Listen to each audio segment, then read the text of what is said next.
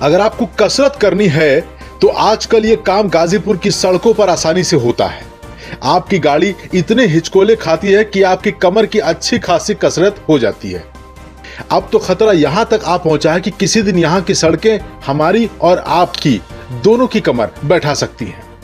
हमने अपनी रिपोर्ट में लगातार गाजीपुर की खस्ता हाल सड़कों का मामला उठाया है। अब गाजीपुर को लेकर काफ़ी दिनों बाद यूपी सरकार की नींद भी टूटती दिख रही है। गाजीपुर की एक व्यस्त सड़क के दिन फिरते नज़र आ रहे हैं। दरअसल, यूपी के डिप्टी सीएम और पीडब्ल्यूडी मंत्री केशव प्रसाद मौर्य ने गाजीपुर को लेकर एक खास ऐलान किया है। केशव मौर्य ने ट्वीट किया है जिसमें गाजीपुर की सड़क का ज़िक्र है। उन्होंने बताया है कि कुंडेसर शेरपुर मार्ग को और अधिक चौड़ा करके मज़बूत बनाए जाने के लिए चार करोड़ रुपए की राशि निर्गत की गई है। इसके अलावा इस काम को जल्द से जल्द पूरा करने के निर्देश भी दिए गए हैं।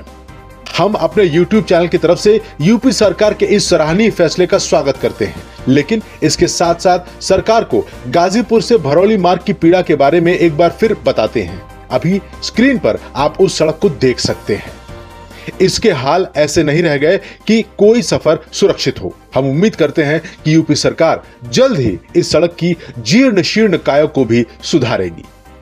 गाजीपुर की ऐसी ही और भी खबरों के लिए हमारे YouTube चैनल को सब्सक्राइब करें और बेल आइकन को ज़रूर दबाएँ।